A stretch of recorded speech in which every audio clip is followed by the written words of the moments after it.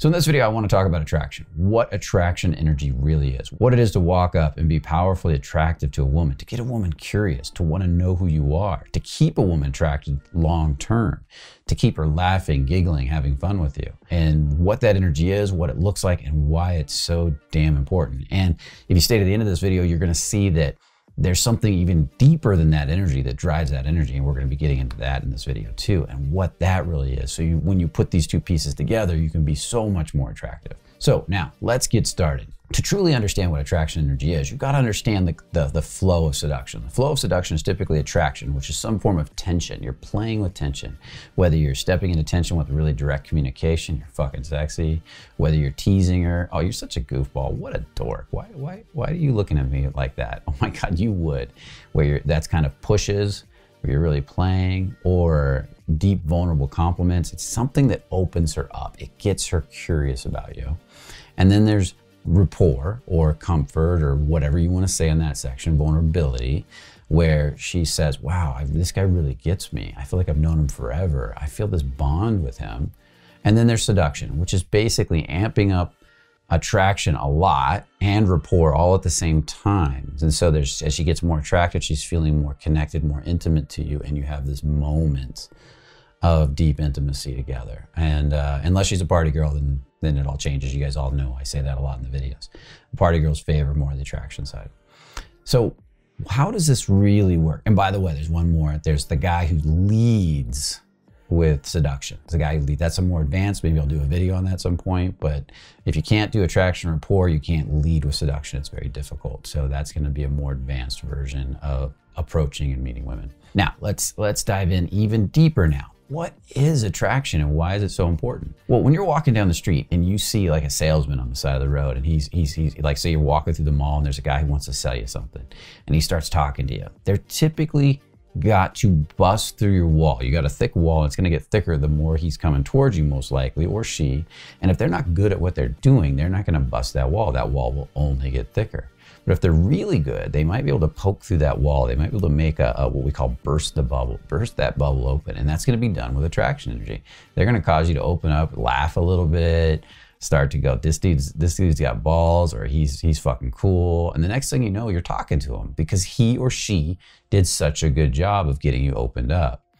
Once the attraction energy is there for a little bit and you're curious about this person, that first 30 seconds, three minutes, five minutes of conversation, is oh has happened and you're like who is this person? And you might have a moment where you really relate on a level and you have a deep moment a deep little conversation where you're like yeah that's really true.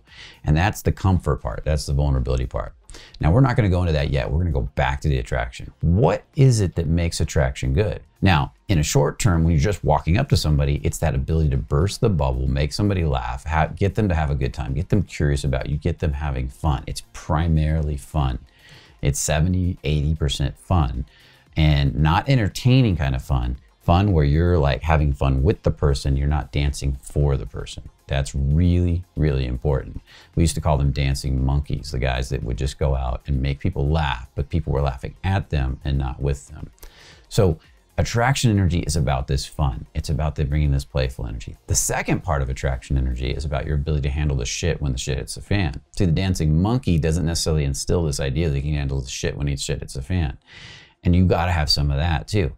Can this guy deal with uh, an asshole Let's say, let's say a waiter's being super rude to your date. Can you deal with that situation? Maybe they're serving really bad food. Or can you send the food back, manage that, ground that out? Somebody's bumping into your girl when you're talking to her at the bar.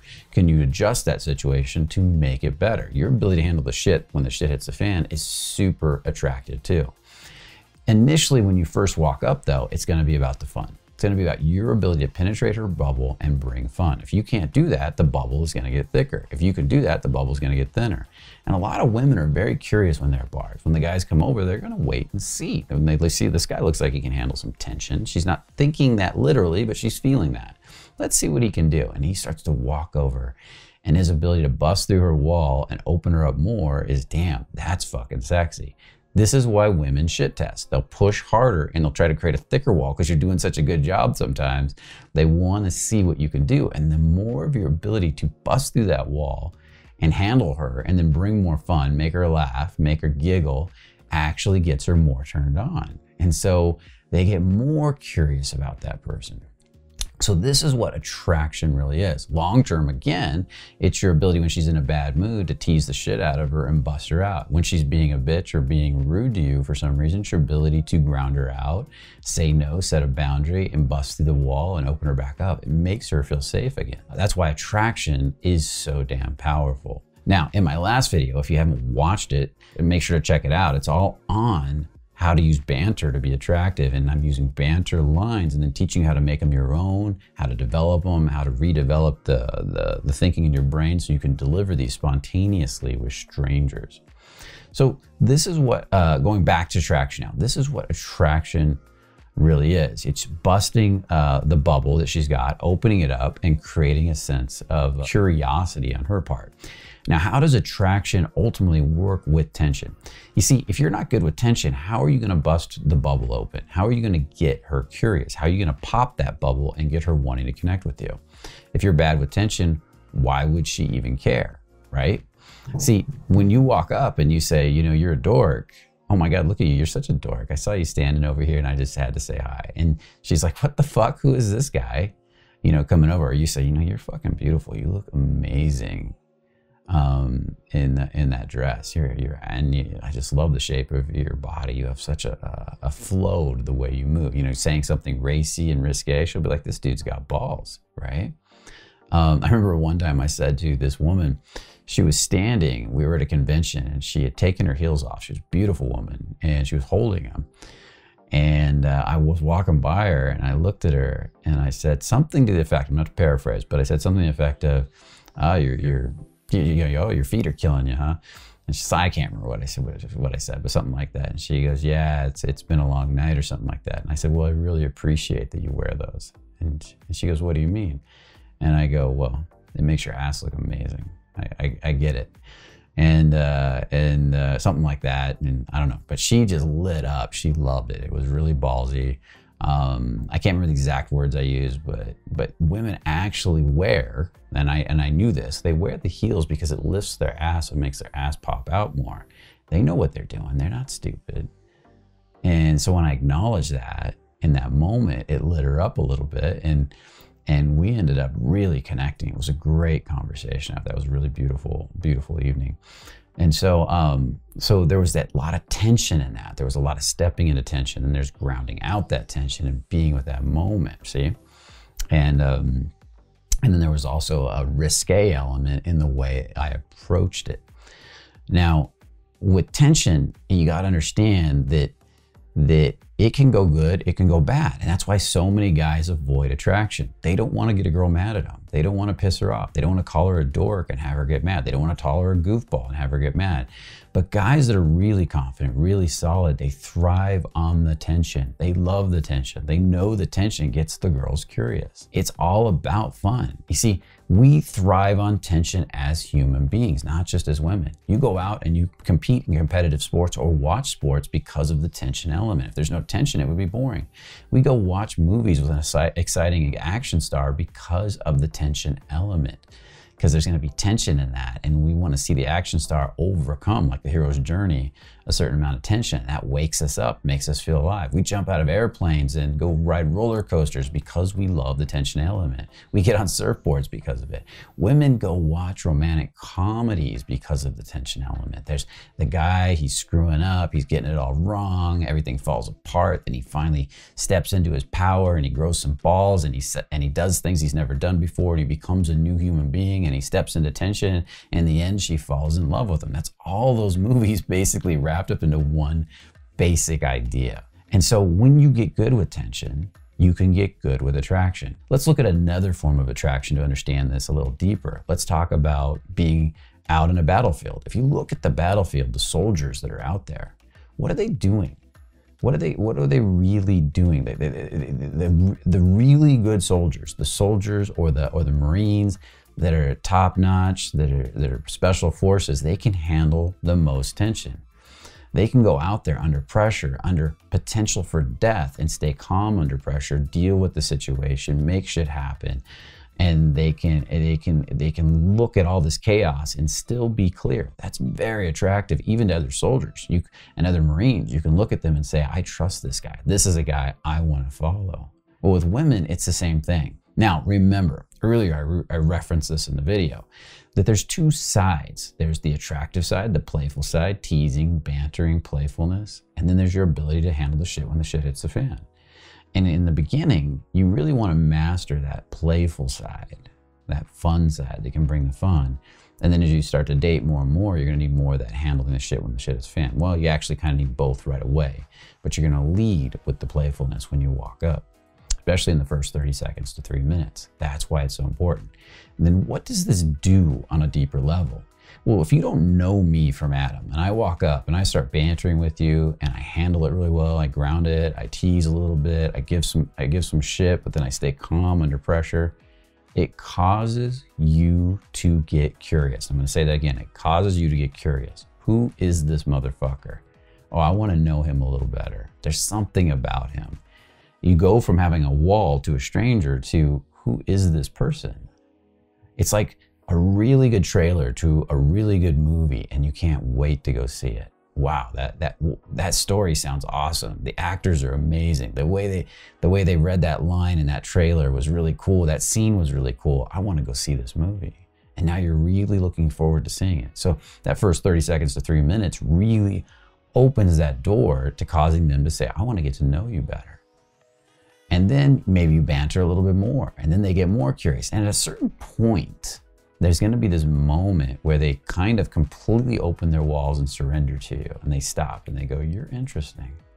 That's the moment if you're really good at it and i'll have to do a video on this at some point that you switch to the vulnerability and the comfort for a little bit. You switch to yeah hey who are you as a person? This is when we stop this pushing energy, this momentary energy that handles shit, gets things done, doesn't have time to sit there like in the moment, in the heat of battle.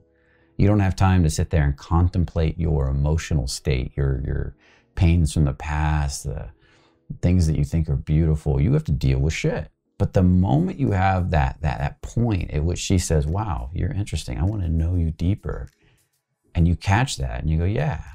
That's when you contemplate let's let's share some deeper emotions about what we really feel together who we really are. Something that's beautiful. That's the comfort stage. That's the rapport the vulnerability stage. It may only last a second. It may last a few seconds. It may last five minutes. It depends on the person. Like is she really a deep person? Are you a deep person? Is she really a bantery person? I mean some women are going to be 80% banter and 20% rapport. Some are going to be the opposite. Some are going to be in the middle right? And you got to adjust and figure out what you want. Where you land on that equation?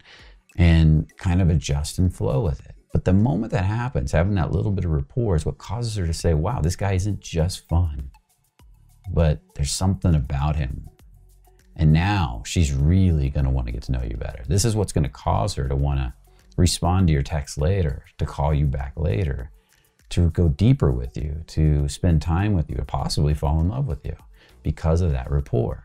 So think about it this way that bantery side that pops everything open and hits and teases and plays and pushes buttons and says, "Hey, you know, you're such a goofball. You would. Why? Why would you? Why would you do that? Come on, don't get." No, you don't get, don't get me mad. I'm gonna have to come over there and spank you. You know that type of energy, or you're something about you. You are so fucking sexy. Don't let that go to your head. You know something like that that causes her to be curious is fun, but it can be forgot by tomorrow. It's like that dude was fun, but I'm moving on. The rapport causes her to remember you the next day and say, wow. So if that's the case, why don't we lead with rapport? Well, we don't lead with rapport because if I walk up with rapport and share deep, vulnerable stuff and there's no opening, the bubble's not open, that's just freaking weird, man. If I if I walk up and I try to connect with her and say, you know, tell me something deep about you, tell me something you really love or care about, something that means something to you. I'm really curious. And she's like, Why? Who are you? I don't know you. You haven't opened her up to be curious, to want to share that information. So you haven't really earned that right to go into rapport yet. You haven't earned that right to have her say, I want to know you at a deeper level. That starts with attraction energy. So I'm going to encourage you. I think on this channel, we've emphasized rapport a lot because it really creates these deep, powerful connections, makes women fall in love with you, and you fall in love with women. It creates so much beauty in life when you can really connect with another human being really deeply. But attraction energy is just as important. Your attraction energy is constantly opening you up for deeper levels of rapport with a beautiful woman. Even if you've been with her for five years, your ability to go back and tease her and banter with you causes her to laugh so much that she constantly wants to go deeper. And if your relationship's not going deeper over a lifetime, not constantly deepening, then you're doing something wrong. So your ability to, to, to 10, 20, 30, 40 years from now to keep teasing your beautiful woman not only keeps you feeling alive, but keeps her feeling alive. Now, if you look at this at a deeper level, attraction isn't just with dating. These same energies apply to everything sales, it applies to your business, your ability to bring attraction and to go out and be free from outcome, expressive, spontaneous. These are the energies of attraction. I can be loud, I can be gregarious, I can be expressive, I can tease, I can play, is what brings so much fun to life. It's fun, it's pure fun and your ability to handle shit. When spontaneous shit happens out on the street, your ability to ground it out, deal with the situation, make decisions under pressure. That's what attraction energy is. And a rapport is all about your ability to stop and just savor the moment, be with somebody, share something deep and vulnerable, something you don't share with a lot of people, something that you that is personal to you. And then and maybe it's a beautiful poem. It's something that makes you cry. It's something that makes you feel deep. It opens your heart it's something that makes you feel bonded to another human being and so those two are really really essential in life and when you learn to bring attraction, you can get up in the morning excited about your re- day, ready to tackle the day, ready to da- tackle all the difficult challenges. And that's why I want to incorporate more and more attraction into your lives. Okay? Now, so hopefully you're getting the idea of this video. That you, that you, what attraction really does, that it is the energy of the open. It's the energy of walking up to a woman you've never met before and saying hi. It's where everything starts. It's where everything, where the magic begins to happen, your ability to step into attraction of energy. And then there's the rapport energy, your ability to go deep with the human being after you've opened her up. Then there's seduction, where it's where the two start to blend together and you go really deep into tension, uh, which drives attraction, and into rapport, where you get really vulnerable, intimate, physically together at the same time. And if you're really good, you learn to bring both of those, like the, the, the, the typical seducer from history. Uh, I think like the Cyrano de Bergerac is how I picture it, or the Don Juan. He just brings attraction and rapport right from the beginning. A lot of attraction, a lot of vulnerability right from the beginning. But that, but until you master the two, you can't do that one. So in the beginning of this video, I did say at the end, I want to comp, I want to talk about what drives all of these energies, because it is possible to become very attractive in a sense that you can do banter, you can rapport, you can do teasing, you can get really good at calibrating that shit, but still have trouble in this area. And what, what the cause of that is, or even have trouble learning this area. Like let's say you're trying to learn it, but you keep failing and you're not quite getting it right. It's because deep down inside, you don't think you're attractive to women. You feel insecure inside about your attractiveness to a beautiful woman as a man. Like, why would she like me? I'm ugly. I don't have enough muscles. I don't have this.